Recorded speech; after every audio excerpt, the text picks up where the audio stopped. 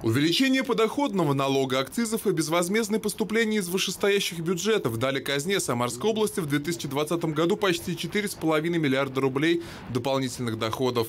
К этому добавились неиспользованные остатки из бюджетов прошлых лет – более 11 миллиардов рублей. Как итог, дополнительные расходы превысили 16 миллиардов.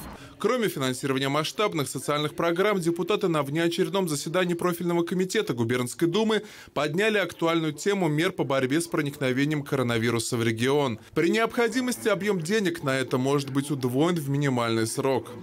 Для выделения этих средств в целях а, ускорения процедуры выполнения необходимых там, мероприятий, закупки оборудования 35 миллионов средств было использовано из резервного фонда правительства Самарской области. При необходимости и обосновании Минздравом дополнительных средств, они также будут рассмотрены. Этот вариант не исключается, что и дополнительные средства нужны будут. Минздрав в настоящий момент проводит оценку этой э, ситуации. Добавить денег и на развитие особой экономической зоны, благоустройство городских территорий и дороги.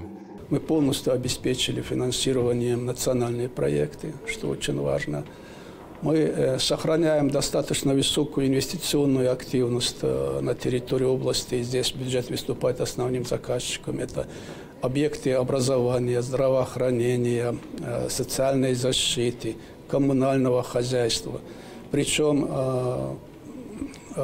идет сбалансированно как новое строительство, так и ремонт. Парламентарии рекомендовали проголосовать за поправки в главный финансовый документ сразу в двух чтениях. Закон рассмотрят уже в этот четверг на пленарном заседании Думы.